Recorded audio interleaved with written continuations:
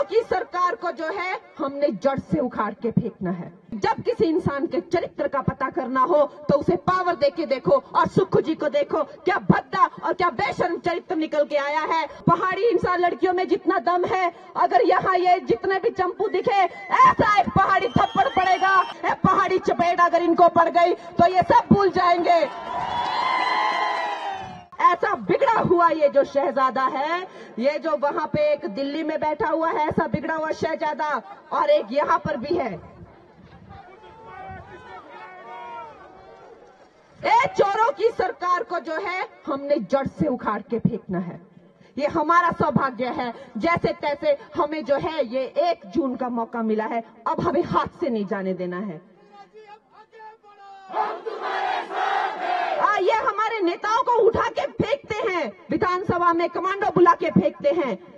सुखू जो है, घमंड में चकनाचूर है, एक कहावत है, कहते हैं कि जब किसी इंसान के चरित्र का पता करना हो तो उसे पावर दे के देखो और सुखू जी को देखो, क्या भद्दा और क्या बेशर्म चरित्र निकल के आया है। अपने ही जो है, एमएलए को कहते हैं, कोई मेंढक है, कोई काला नाग है।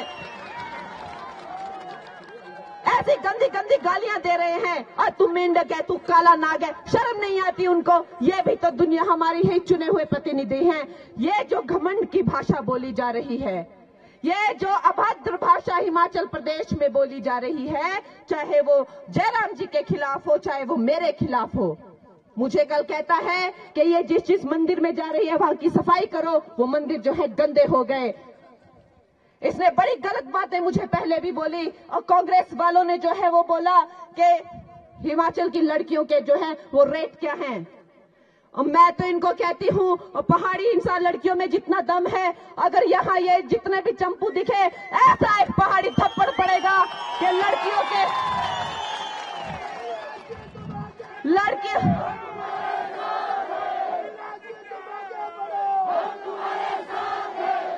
लड़कियों के तो छोड़ो। ये जो है सब्जियों के भाव पूछना भूल जाएँगे। पहाड़ी चपेट अगर इनको पड़ गई तो ये सब भूल जाएँगे।